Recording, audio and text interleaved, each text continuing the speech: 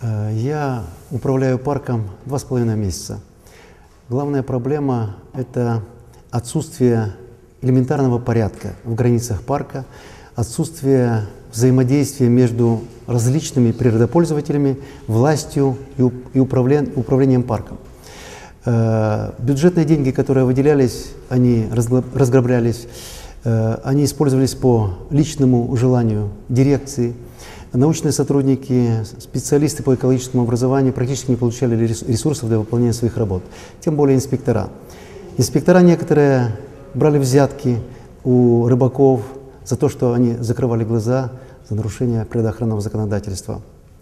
Огромная территория вокруг парка, э, которая является ну, частью нашего на- национального достояния, это степи распаханы, примерно 80% распахано, украдено у парка. И это создает огромный конфликт э, с интересами государства и интересами тех, кто это захватил. Но, как правило, это крупные фермеры, а не конкретные местные жители. Огромная проблема регулирования рыболовства.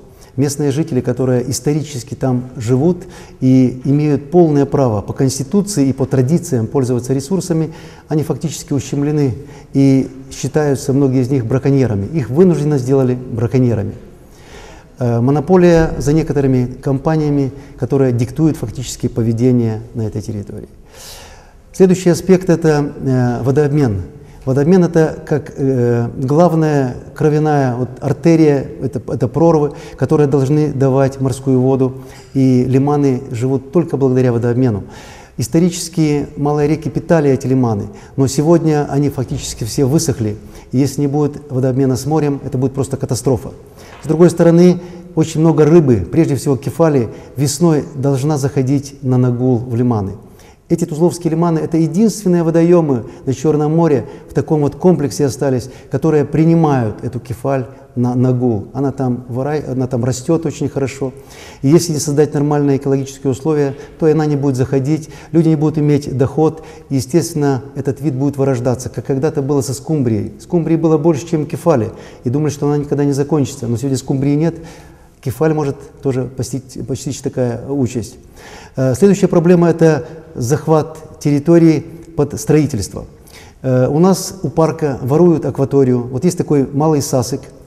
Там есть ряд бизнесменов, э, представители геокадастра, есть э, бывшие чиновники администрации, которые фактически отхватили часть парка и отсыпают его грунтом, это водная гладь, там, где живут птицы, где рыбы размножаются, и строят всевозможные дачные комплексы, а глава администрации в прошлом построила даже там церковь на этом болоте. И нам приходится, конечно, каждый день держать на пульсе эти проблемы и, естественно, информировать и министерство, и общественность через разные каналы, с тем, чтобы мы, показывая последовательность решения этих проблем, искали поддержку у власти в правовом поле. Мы декларировали, что мы работаем на принципах э, порядочности, наша команда, э, профессионализма и э, прозрачности. И мы это будем делать, насколько хватит сил и возможностей у нашей команды. Проблем еще очень много мелких и других, но это отдельная тема. Э, Философия управления этим парком за пять лет была абсурдной. То есть те, кто управлял парком, они фактически э, унижали людей тем, что требовали от них взятки, они наживались на этом. Мало того, что они бюджетные деньги воровали, они еще не давали возможность местным жителям достойно жить. То есть, чтобы рыбаку местному ловить рыбу, ему надо соответствующие деньги занести в определенное место. И сейчас, когда мы пришли, мы стали декларировать прозрачный механизм работы, что парк создавался не только для охраны дикой природы и биологического разнообразия, а парк создавался для местных жителей чтобы местная экономика росла. Она может расти на традиционном природопользовании, это рыба, это выпуск скота, это сенокошение, естественно, на развитие рекреации. Такого благодатного края с огромной протяженностью морского пляжа, 35 километров, пока еще не застроенного, с такими огромными бриллиантовыми ресурсами этого, этого песка, э, никто не сможет поспорить у нас на Черном море. Если возьмете Черное море, таких масштабов нигде нет. И местные жители могли бы зарабатывать на этом, развивая зеленый туризм, экологический туризм, сельский туризм. И когда мы это рассказываем в громадах, то процентов 95 где-то людей полностью поддерживают нас. Находятся те, которые не хотят соблюдать правила игры, которые работали долгое время под куполом каких-то олигархов, которые жили не в согласии с законом, и они дестабилизируют ситуацию. Мало того, что они дестабилизируют ситуацию, их используют и глава администрации районной Белинский Олег Петрович, и глава районного совета Донкоглов Виктор Георгиевич. Они сегодня играют на руку тем мелким олигархам, местным князькам, которые узурпировали ресурсы. И когда мы это доносим до местных громад, они полностью нас поддерживают. И мы хотим сейчас формировать вот громады традиционных рыбалок, чтобы они получали приоритетное право на лов рыбы, чтобы местные жители получали право на выпас э, скота, на сенокошение. Но, естественно, все в рамках закона. Мы категорически не возражаем, чтобы э, регион развивался и был одним из лучших. Но мы говорим им, мы сегодня это не можем сделать. Мы хотим вашей поддержки. Если вы хотите нормально жить, стабильно, и чтобы ваше поколение жили достойно, помогайте нам. И практически во всех громадах у нас есть поддержка. Моя ежедневная работа видна благодаря Цукербергу Марку. Я каждый день пишу на Фейсбуке. Каждый день пишу о том, что происходит в парке, какое явление я выявил, какие нарушения – и из-за того, что я пишу на Фейсбуке, на меня сейчас подают в суд. Якобы я кого-то там обидел. Меня вызывали в полицию за это. Я им объясняю, что это такие технологии. Да, это может быть средство э, массовой печати, если кто-то так считает. А может быть и нет. Я могу это все стереть. Но я принципиально этого не делаю. То, что я написал, я никогда не вытираю. Это моя точка зрения. Я привык 30 лет так работать. Я охраняю природу, и я хочу, чтобы люди видели мои последовательные действия. Только тогда можно понять логику моих действий и э, то, э, что я декларирую. Поэтому я постоянно пишу на Фейсбуке, очень много средств массовой информации перепечатывают, берут оттуда информацию. Естественно, я информирую постоянно министерство обо всех нарушениях. Но происходит такая ситуация, что я письменно пишу докладные, а мне иногда звонят оттуда и говорят, ну зачем вы пишете, вы не можете позвонить, сказать нам, какие проблемы. Я говорю, нет, я только буду фиксировать официально, письмами. Вы мне официально отвечаете, потому что это серьезное дело. Слова не подошьешь ни к чему. Обо всех нарушениях, которые я выявляю, тем более я э, пригласил финансовую инспекцию, она работает уже три недели у нас, она находит немало нарушений, скажем так. Через несколько дней она закончит работу, и потом это станет тоже достоянием прессы. Видимые результаты, вы знаете, конечно, вот э, когда я только первые дни приехал, я поехал на косу, в сторону косы песчаной, чтобы увидеть, как она охраняется, как инспектора работают. Огромное количество следов джипов, огромное количество. А это нельзя там делать, да?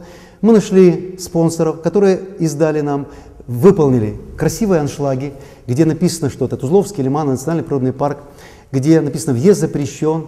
И мы расставили такие знаки, которые, слава Богу, уже сдержали такой натиск, да? Мы очень опасались, что их расстреляют охотники. И мы увидели, что да, они себе стоят, уже меньше следов. То есть это первые результаты. Мы э, заявили охотникам всем, что мы не возражаем, чтобы вы охотились в принципе. Да? Есть отдельные нормальные охотники, которые соблюдают правила. Но в границах парка вы не имеете права. Вы можете стоять на границе с парком. Если мы поддерживаем экосистему в хорошем состоянии, и наша дичь, наша фауна очень жирная, богатая, она хочет выйти, выйдет, ну такая ее доля, такая ее участь, вы там ее расстреляете. Но в парке ни за что. Теперь уже мы находим понимание. То есть люди начинают понимать, что мы декларируем, мы выполняем. Что касается некоторых э, баз, которые считались охотничьими, вот есть такая база, называется база Горбурова, да, там было все время скопление каких-то охотников. Были чучела, были какие-то перья дичи. Мы поставили жесткое условие. Вы хотите находиться на этой территории и иметь свой бизнес, да, Пожалуйста, но не, не охотничий. В парке запрещена охота. Пожалуйста, все ваши строения передекорируйте в красивые какие-то навесики из тростника, из дерева, чтобы туристы по зеленому туризму да, приходили к вам, оставляли вам деньги за чай, кофе, за сопровождение и зарабатывайте на этом. Но не портите имидж парка, потому что все это ржавое, все это расстрелянное, оно не создает никакого уюта и удовольствия.